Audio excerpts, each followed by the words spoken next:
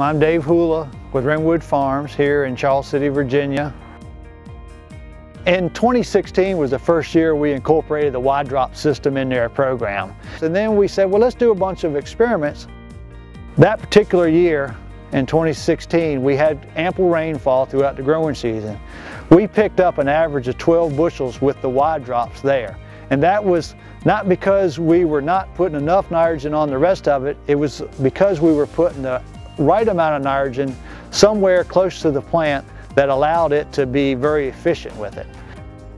I would challenge anybody out in the audience now that if you've never walked out into your cornfield early in the morning when it's still got a good dew on it, just walk out there.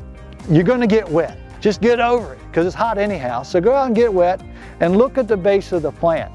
Most folks don't realize that the corn plant, it's just wicking moisture out of the atmosphere and then dropping it down its corn leaves onto the ground. And there's an area kind of about the size of a softball around that corn plant that's moist.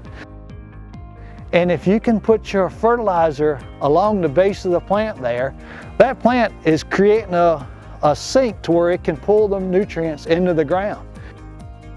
In 2017, a little bit different year. As if you've been farming as long as I have, you're to see a lot of good years and you're going to see some challenging years. Where we incorporated the Y-DROPs, we picked up an average of five bushels.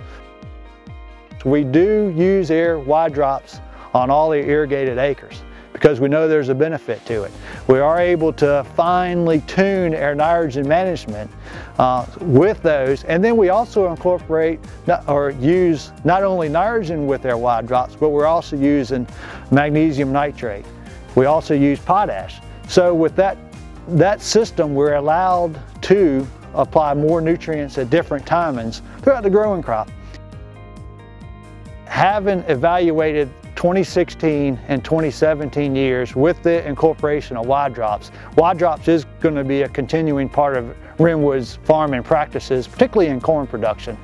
As you know, you know, you just try to strive to have better yields and you know, if we can save a dollar here or there, be more efficient in application, pick up some bushels, that's one of the goals here at Renwood.